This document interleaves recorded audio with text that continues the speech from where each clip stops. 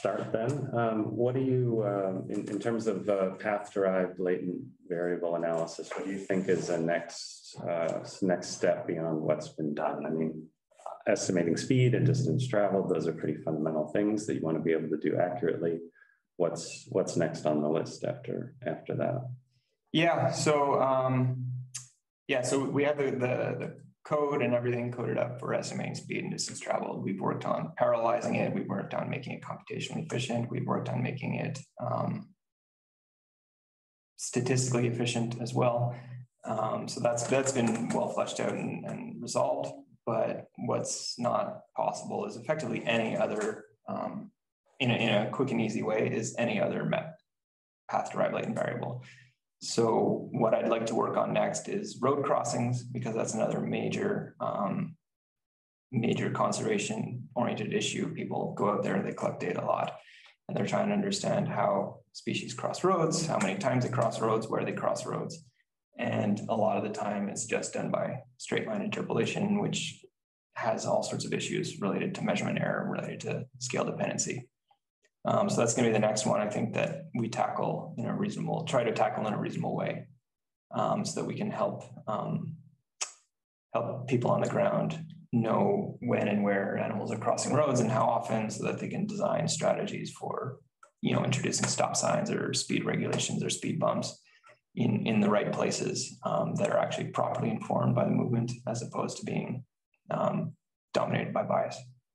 So that's the next one. And then the post that would be trying to understand how much space that these animals, uh, sorry, how much time these animals are spending in different different habitats. Do they need this much time in grassland versus this much time in, in forest and that kind of thing, so that we can better decide um, how much land and of land of what type to set aside for these species.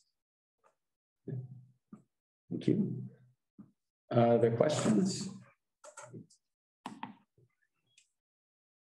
Questions from the audience for Mike?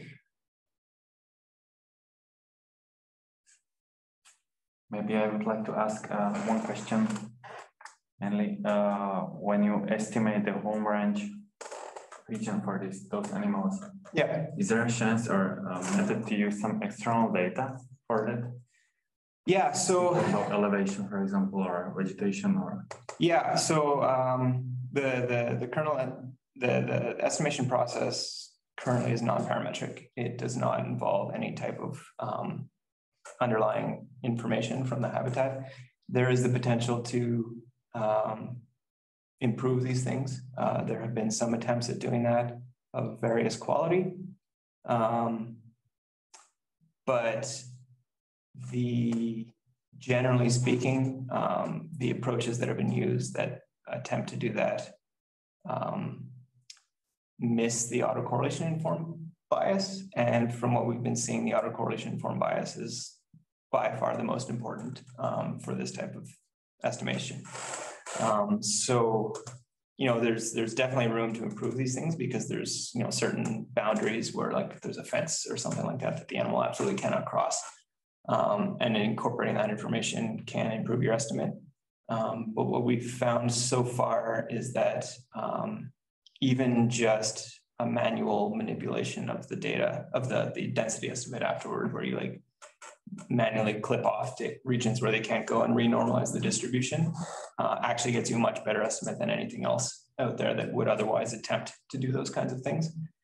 Um, so it's sort of like a yes and no. You can try to do an approach out there using canned methods. It probably won't result in anything particularly great. Um, and we would like to maybe do something along those lines. Um, but like we have this like laundry list of things to do that's just ex- growing exponentially. And um, from what we have seen so far, the benefit that would gain from be gained from that is getting down to the point where it's minimal, mm-hmm. um, like small percentage of improvement in accuracy versus the other major issues that we've been focusing on. There's a question that came in on the chat. Yeah, so um, so the question is focused on um, migratory animals, and is there a difference in methodology when animals are migra migrating? Yeah, so there absolutely is. Um, a lot of the stuff that we, we've been developing for home range estimation uh, assumes that the process is stationary and that the animal occupies a fixed um, distribution in space over time. So if you let this uh, process run out into infinity, um, the amount of space that it will occupy is finite. Um, migrating animals don't um, follow that. They either, you know, switch from this range residency stationary distribution to uh, burst migration to then a, a, a, secondary range residency and then hop between the two. Or there's also nomadic species, which um, don't actually have any type of stable distribution either. Um, so migrating animals are at the extreme end of this effective sample size region where um, for a lot of them, like you only have information on one single mi migration for an animal. So your sample size is effectively one and will only ever be one, uh, maybe two, three if you have the same animal repeated over multiple years, but you're at the end edge where you have very limited amount of information. Um, depending on what the actual question is that you want to answer with these data, there are methods for fitting models that um, are appropriate for migratory animals, reconstructing the paths, and then estimating path-derived latent variables. Um, but if you're trying to estimate like a distribution over like where this animal is likely to migrate, um, that's a sort of more challenging thing because they don't actually have a stable distribution. Um, I don't know if that necessarily answered your question per se, but yes, there are methods for dealing with migratory animals. Um, generally speaking, though, the questions that you want to answer are different. Um, so we haven't quite um, focused on, on those questions yet per se, although the tools that are in the package that we've been developing are um, can be applied to those.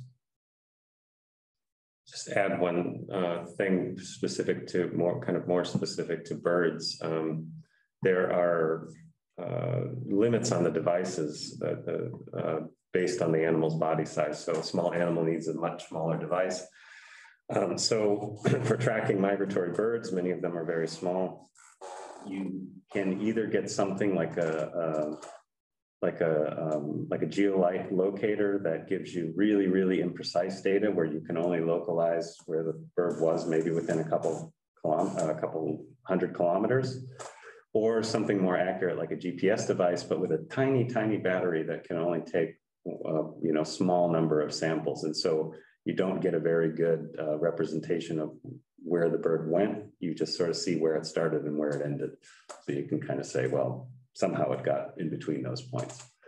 Um, and those different types of data and different qualities of data uh, require somewhat different approaches on the analysis side as well. Any uh, last questions for, for Mike before we wrap up here? No? Okay, then thank you all for coming. Uh, thanks, Mike, for the nice talk, and we will see you guys next time. Yeah, thanks for having me now and for listening.